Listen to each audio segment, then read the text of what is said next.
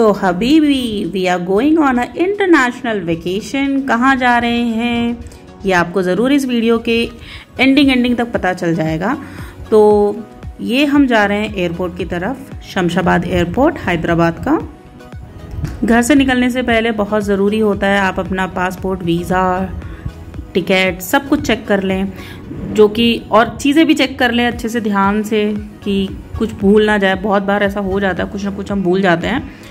तो ये हमने सारी चीज़ें चेक कर ली हैं और फाइनली हम एयरपोर्ट पहुँच चुके हैं। ये है हैदराबाद का राजीव गांधी इंटरनेशनल एयरपोर्ट मुझे काफ़ी एनजाइटी काफ़ी टेंशन हो रही थी क्योंकि ये मेरा फ़र्स्ट इंटरनेशनल ट्रिप है। इससे पहले मैं ऑलरेडी नेपाल जा चुकी हूँ। बट स्टिल वो तो बॉर्डर से कनेक्टेड था। ये बॉर्डर से कनेक्टेड नहीं है जहाँ मैं जाने वाली हूँ। तो इसलिए जल्दी से एयरपोर्ट पहुँचना फिर इमिग्रेशन के लिए प्रोसेस ये सारी चीज़ें मतलब बहुत सारी मेरे दिमाग में टेंशन थी बट सारी फाइनली हमारी हो चुकी है। बहुत स्मूथली ज़्यादा रश नहीं था। वो आई थिंक इसलिए होगा क्योंकि हम बहुत जल्दी पहुँच गए थे। सब कुछ हो गया। हमें लगा बहुत ज़्यादा टाइम लगेगा बट टाइम वाइम नहीं लगा क्योंकि हम बहुत जल्दी आ गए थे। चार घंटे पहले आ गए थे।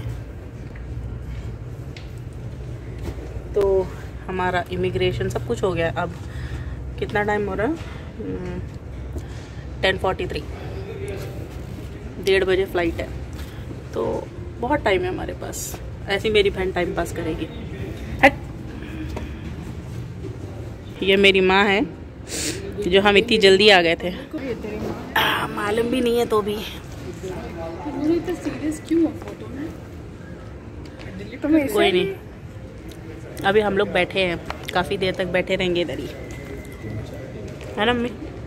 मम्मी का भी हो गया इमिग्रेशन हम सबका हो गया। हम दोनों पहली बार जा रहे हैं। पहला है हमारा। तो हम आ गए कॉफ़ी पीने। ये मेरा बहुत मैंडेटरी होता है। जब भी मैं फ्लाई करती हूँ, मैं एयरपोर्ट और फ़्लाइट के अंदर ज़रूर कॉफ़ी पीती हूँ। उसका रीज़न है मेरा सर दर्द। इससे थोड़ा मैं बेटर फील करती हूँ। ये कुकीज़ कॉम्प्लीमेंट में मिला। तो मैंने दो कुकीज़ ले लिया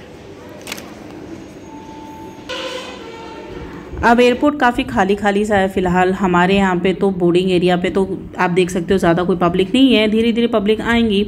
यहाँ मैं मम्मा से भी अपनी कॉफ़ी शेयर किया मैंने, क्योंकि यार बहुत ज़्यादा है। मैं इतना ज़्यादा क्वांटिटी में कॉफ़ी नहीं पीती हूँ। एक नॉर्मल यार, आप अपने घर पर भी एक ना, एक छोटा कप ही पीते हो, ज़्यादा बड़ा नहीं पीते हो। तो इसलिए मैं ना वन बाई टू कर लेती हूँ। मैंने मम्मा से शेयर किया। अब हम एयरपोर्ट पे वेट कर रहे हैं और ये वाली चीज़ ना, ये जो वॉकिंग है, ये जो ऑटोमेटिक वॉकिंग करती है, जो भी है, इसका नाम मुझे एग्जैक्टली नहीं मालूम। तो इस पर मैं थोड़े मज़े कर रही हूँ, बड़ा मज़ा आ रहा है। और हमारा हो गया है बोर्डिंग का टाइम सारी चीज़ें चेक हो चुकी हैं और अब हम जा रहे हैं। काफ़ी रश है यार।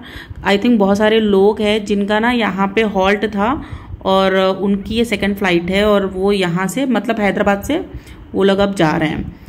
तो हमें हमारी सीट भी मिल गई है और बाहर का व्यू भी काफ़ी अच्छा है। और देखो, ये जो डेस्टिनेशन में जा रही हूँ, ये वहाँ का व्यू है। ऊपर से देखने से सब छोटे छोटे दिख रहे हैं, पहाड़ दिख रहा है सी दिख रही है। ये फाइनली मैं पहुँच चुकी हूँ, हम सब पहुँच चुके हैं। अब यहाँ का प्रोसेस समझेंगे कैसा है, क्या है। कुछ समझ में तो आ नहीं रहा है। फिर इमिग्रेशन हमारा क्लियर हो चुका है और हमने बैग भी अपना ले लिया और यस फाइनली हम आए हैं दुबई मेरी हालत देखो यार, ऐसा लग रहा है पता नहीं कहाँ मैं इतनी ना काम वाम करके आई हूँ। बहुत टायर्ड फीलिंग कर रही हूँ। और व्यू काफ़ी अच्छा है। It was a very new and good experience airport पे। काफ़ी चीज़ें बहुत स्मूथली हो गई। हमें एक फ्री में सिम कार्ड भी मिला था वहाँ पे। आप जब भी आओगे, आपको भी मिलेगा। और वहाँ पे दुबई से आपको मेट्रो की भी फैसिलिटी है बट अभी कुछ ज़्यादा समझ में नहीं आया, इसके लिए हम आ गए। कैब बुक करके हम डायरेक्टली जा रहे हैं अपने अपार्टमेंट में। और ये आप देख सकते हो ब्यूटीफुल सा व्यू मेरे बालकनी से। ये है जे बी आर काफ़ी अच्छा प्लेस है और यहाँ पे नीचे आप देख सकते हो ऑल टाइम आई थिंक लगता है यहाँ पे ना काफ़ी पब्लिक आती रहती है। एंड ये सुंदर सा व्यू है, जो हमें बहुत पसंद आया। अब काफ़ी थक गए हैं तो सो जाएँगे एंड देन कल बात करते हैं।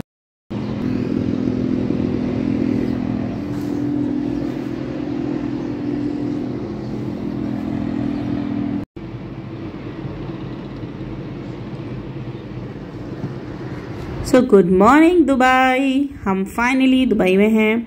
और कल ऐसा था कि रात को हम काफ़ी लेट पहुँचे थे, रात के 11 बजे। काफ़ी टाइम लग गया था चीज़ों के लिए।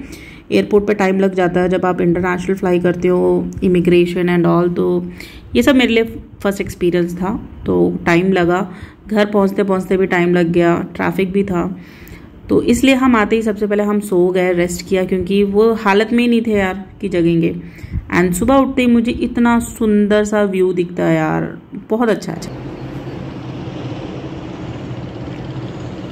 good morning it's morning seven o'clock काफ़ी ठंड है। हमें लगती ठंड नहीं है। हमें लगता है कि मुझे लगा दुबई में इतनी ठंड नहीं होगी, गर्मी होगी बट ट्रस्ट मी मेरे नोज़ ब्लॉक हो गए। इतनी ठंड है यहाँ पे।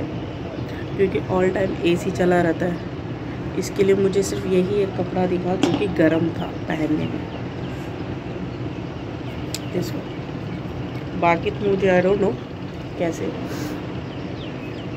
हाँ अगर आप बाहर जाते हो तो हो सकता है कि नॉर्मल जैसे वॉक पर ऐसे जा रहे हो तो वहाँ पे आपको थोड़ी वेदर डिफरेंट मिलेगा बट अगर आप मॉल में या कहीं पे भी ऐसे ट्रैवल मॉल या आप रूम में हो, घर में हो तो एसी ऑल टाइम रहता है। वो भी अच्छा खासा एसी होता है।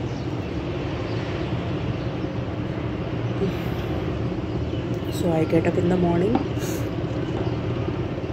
अभी सुबह उठने की हैबिट है तो मैं उठ गई, गर्म पानी पी रही हूँ। क्योंकि गला मेरा थोड़ा सा ख़राब है। ट्रैवलिंग के वजह से बहुत थक गए थे कल। इट्स ब्यूटीफुल प्लेस बहुत अच्छा है। ये जे बी आर प्लेस है। अभी तो मुझे खुद ही बहुत सारी चीज़ें नहीं मालूम है। आज मेरा फ़र्स्ट डे मतलब कल तो चले गया। कल तो फ़र्स्ट डे था बट कल तो हम पहुँचे ही थे रेस्ट करें।